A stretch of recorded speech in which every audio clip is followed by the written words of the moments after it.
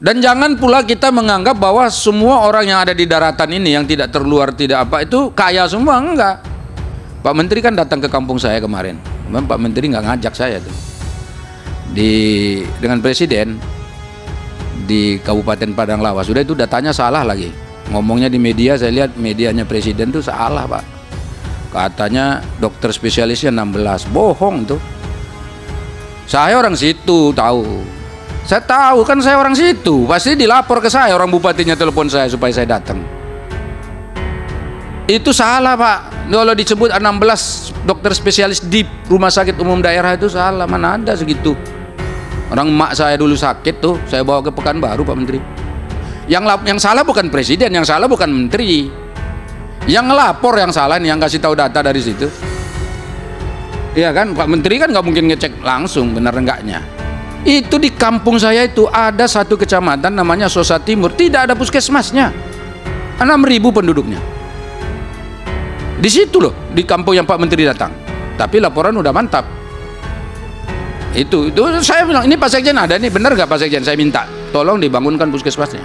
Berdosa kita kalau nggak ada. Saya memang menyetujui mendukung bahwa seluruh wilayah Republik Indonesia ini yang nakesnya kurang kita penuhi. Takkan masalahnya dikasih beasiswa saja, ternyata beasiswanya nggak terserap. Ini agak aneh nih Indonesia. Menteri serta seluruh jajaran. Yang pertama, yang soal AstraZeneca ini Pak Menteri.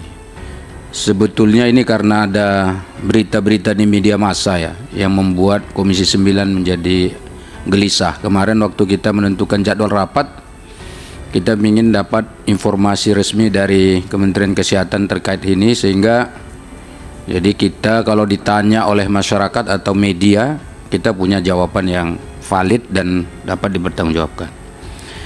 Nah, karena itu saya mengiringi hal tersebut yang ingin saya tanyakan sebetulnya adalah soal eh, reaksi dan gejala yang dipaparkan oleh Pak Menteri tadi. Kan ada yang sangat umum, kemudian ada yang sangat jarang. Nah pertanyaannya kan di Indonesia ini nggak ada nih sebetulnya kan ditemukan. Kalau saya lihat tadi di data yang diberikan oleh Pak Menteri eh, dampak ataupun KIPI terkait dengan AstraZeneca ini di Indonesia tidak ada. Tapi itu kan baru hari ini, per hari ini. Saya tidak tahu besok lusa itu uh, mungkin saja ada atau apakah sudah dipastikan tidak ada gitu. Ini menjadi penting juga. Karena kalau kita lihat dari data yang ada ini, Indonesia ini termasuk yang banyak ya menggunakan AstraZeneca. Coba kalau kita lihat di sana ada 73,9 juta orang yang divaksin dengan vaksin AstraZeneca di Indonesia.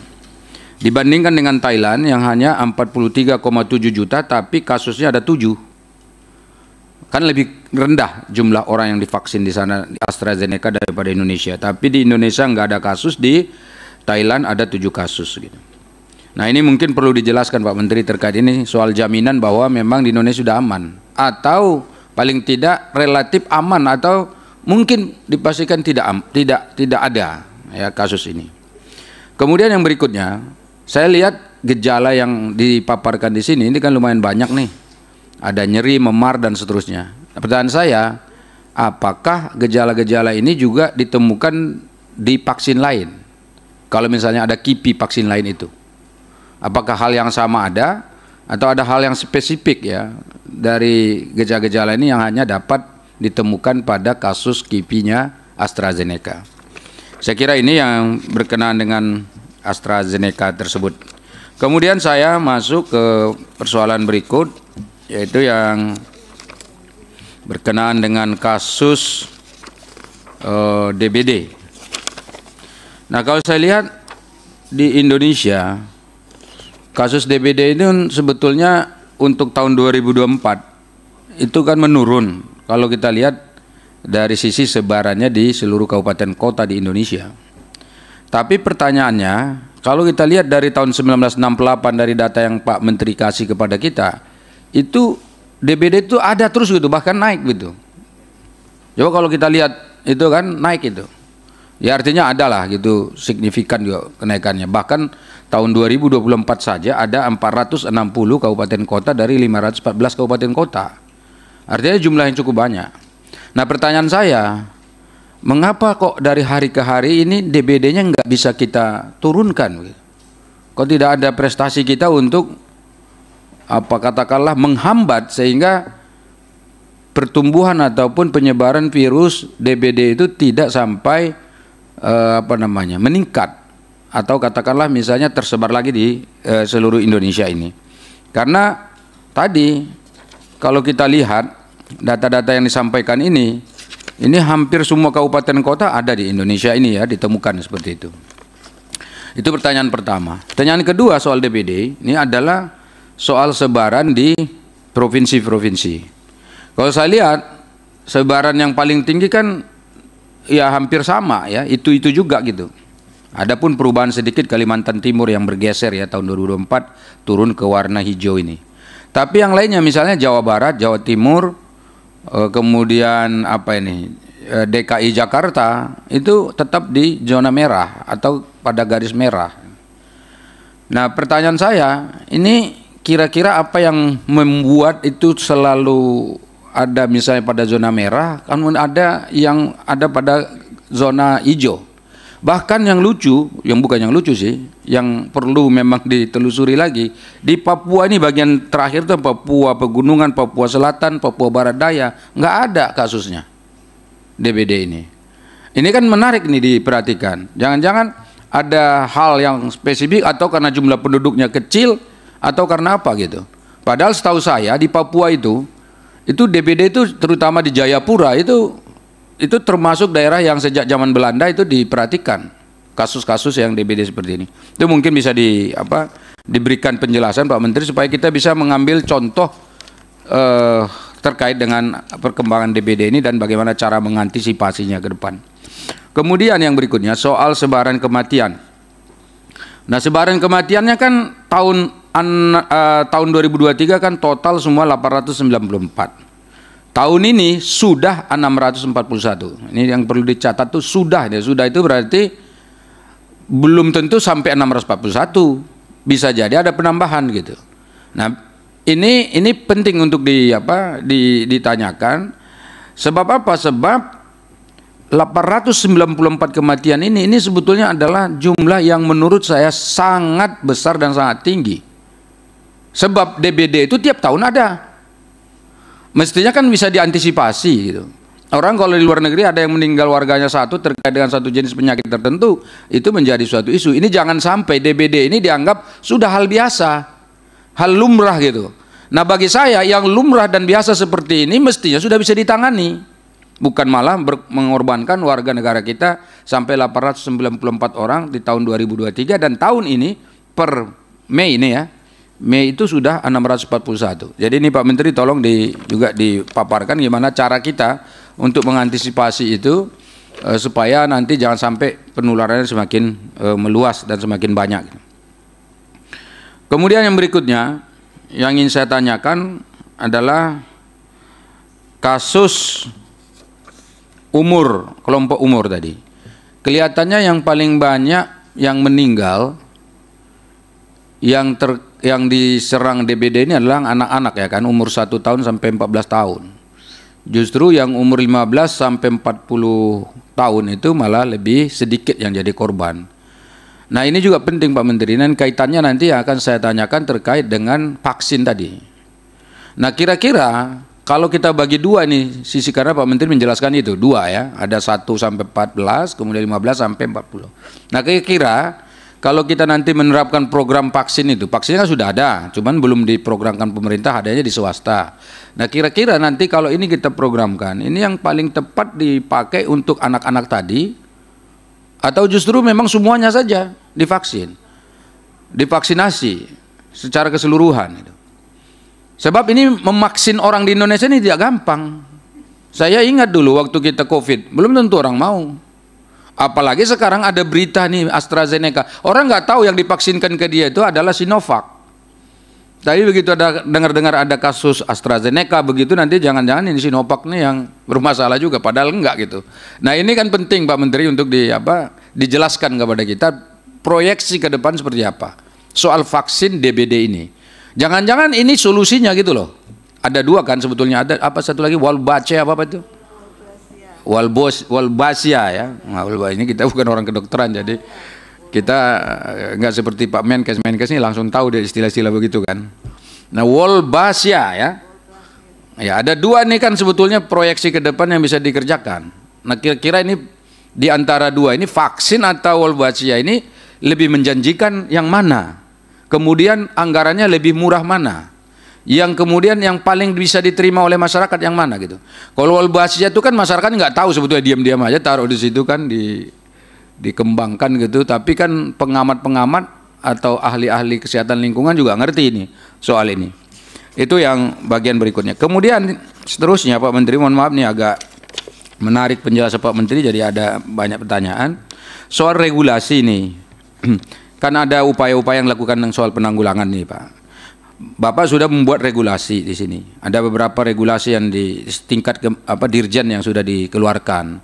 Nah, pertanyaan saya, kira-kira regulasi yang dikeluarkan ini dampaknya seperti apa dalam konteks apa namanya? penanggulangan DBD? Ya kan? Kan mestinya kalau ada regulasi itu lebih implementatif, lebih kuat dan lebih berdaya guna untuk memberantas DBD. Itu satu. Yang kedua, soal kepersertaan dan keterlibatan kabupaten kota Pak Menteri. Seperti apa sih sebetulnya Kementerian Kesehatan mengorganisir keberadaan e, kabupaten kota ini untuk menghalau ini gitu. Saya yakin secara teknis Kementerian Kesehatan nggak bisa sebetulnya turun langsung, mesti harus langsung ke kabupaten kota. Mestinya ya. Nah sekarang bagaimana memberdayakan mereka? Jangan sampai kita sudah buat regulasi seperti yang saya sebutkan tadi, tapi implementasinya nggak dikerjakan di kabupaten. Ada banyak keterbatasan lah, keterbatasan aparat, keterbatasan anggaran, keterbatasan waktu dan juga mungkin ya budaya di masyarakat yang nggak sesuai dan seterusnya. Ini mohon juga diterangkan ya terkait itu. Kemudian yang berikutnya, yang tadi saya kembali ke Wolbachia ya, Wolbachia nih Pak Menteri ini keberhasilannya yang dari sudah yang sudah pernah di, dikerjakan ini seperti apa sih sebetulnya? Saya mohon diterangkan ya. Ini masih berkaitan dengan pertanyaan saya yang tadi. Kemudian vaksin. Vaksin ini ini diproduksi di Indonesia atau di luar negeri? Yang vaksin dengue ini, DBD ini. Ya, ini tolong diterangkan juga. Kemudian e, tingkat keamanannya seperti apa kan kalau saya lihat sekarang masih dikaji oleh Itagi kan nah, tetapi katanya sudah bisa dikerjakan di eh, klinik-klinik e, swasta kalau masih dikaji di Itagi mestinya kan belum bisa dikerjakan belum bisa diimplementasi tapi di sini saya lihat ada kayak gitu skema berbayar dilakukan oleh praktek dokter swasta gini ini penting ya di menurut saya kajiannya seperti apa kemudian yang berikutnya Oh, ini agak banyak ini kita. Nah ini Pak Menteri. Daerah tertinggal perbatasan dan kepulauan. Ini sebetulnya ada definisinya nggak sih sebetulnya? Ini penting ini. Ya, uh, ada nggak definisinya mana yang dimaksud daerah tertinggal, mana yang dimaksud daerah kepulauan, mana yang daerah perbatasan, ya kan, dan yang terluar. Kenapa penting? Karena jumlahnya besar nih. Terdiri dari 149 kabupaten di 26 provinsi. Jadi kalau kita sekarang punya 30 berapa? 8 provinsi ya. Itu ada 149 kabupaten kota yang ada ini, daerah kriteria ini. Ini sebetulnya kriterianya apa? Ini penting sekali. Mohon dijelaskan. Apa definisi? Sebab apa? Sebab jangan semua kita berasumsi daerah terluar daerah kepulauan itu semuanya miskin, belum tentu. Dan jangan pula kita menganggap bahwa semua orang yang ada di daratan ini yang tidak terluar tidak apa itu kaya semua enggak. Pak Menteri kan datang ke kampung saya kemarin. Kemarin Pak Menteri nggak ngajak saya tuh. Di dengan presiden di Kabupaten Padang Lawas. Sudah itu datanya salah lagi. Ngomongnya di media saya lihat medianya presiden tuh salah, Pak. Katanya dokter spesialisnya 16. Bohong tuh. Saya orang situ tahu.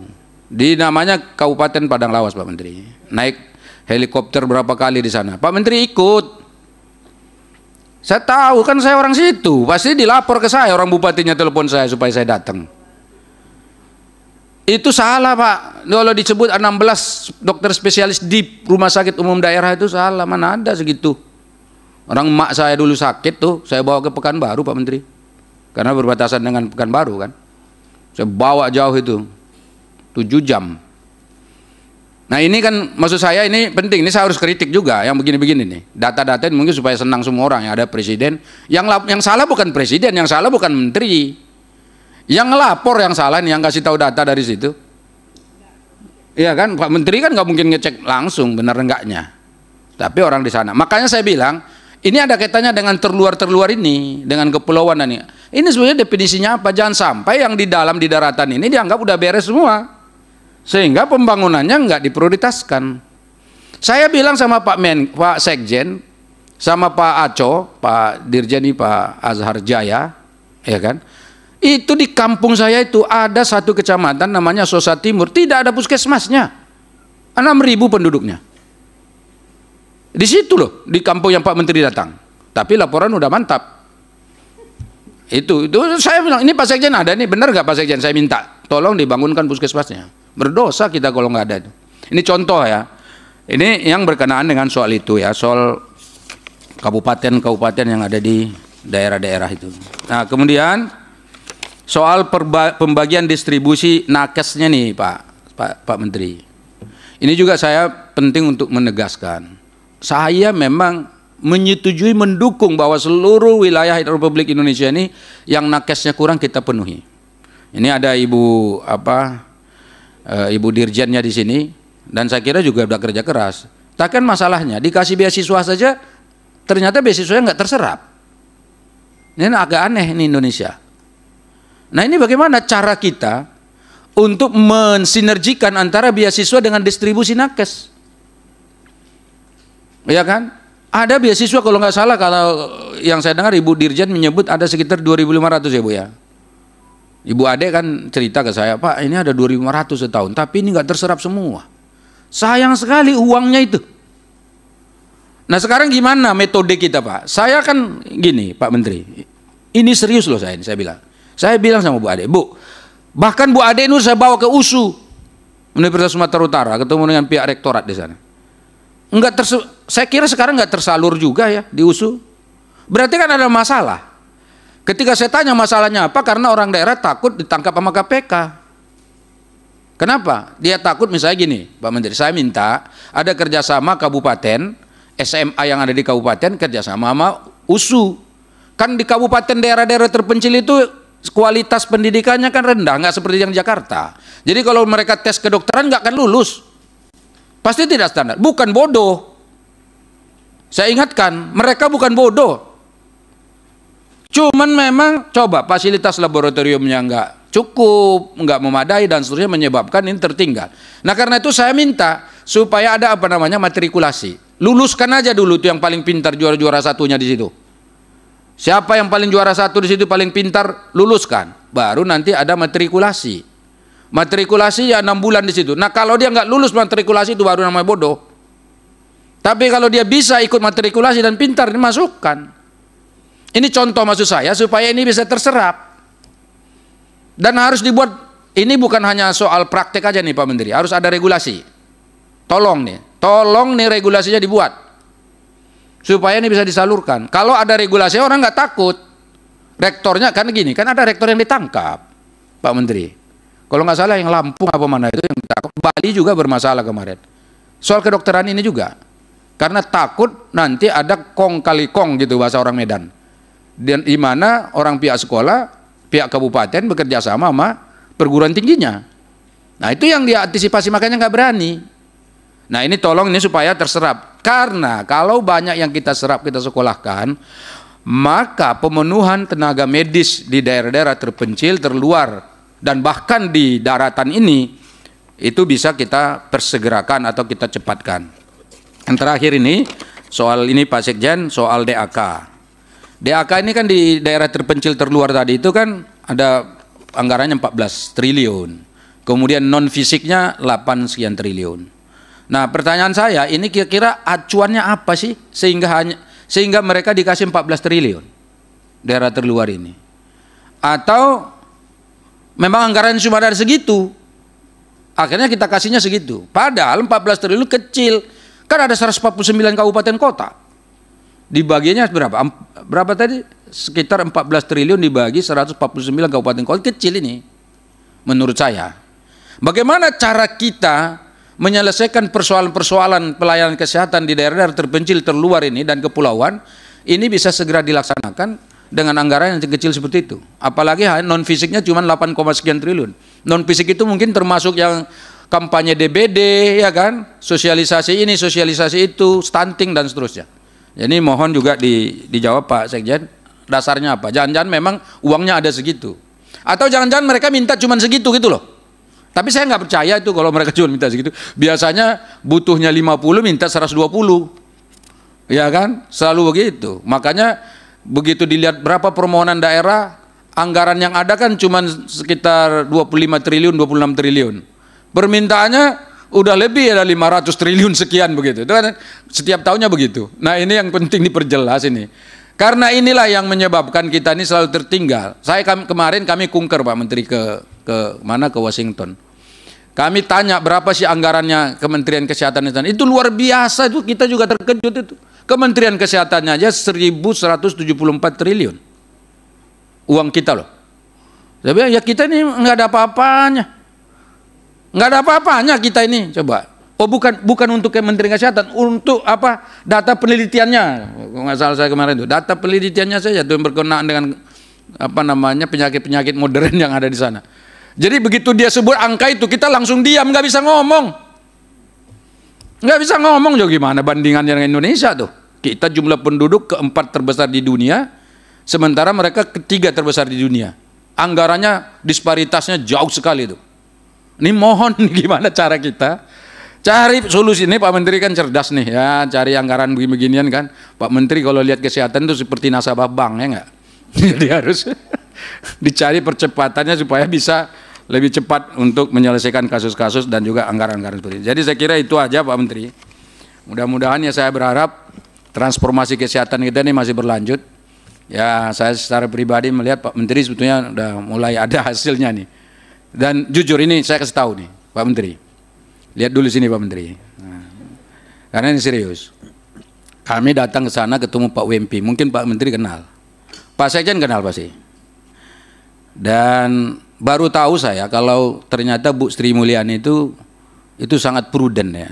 Jadi kalau selama ini di medsos kalau kita dengar itu pokoknya Pak Bu Sri Mulyani pasti ngutang aja. Karena dia kalau ngutang aja dapat persen gitu. Ternyata itu tidak betul sama sekali. Jadi Pak Wempi menyebut kalau ada utang yang diajukan ke sana, itu pasti Sri Mulyani coretin tuh, malah banyak yang dicoret sama dia.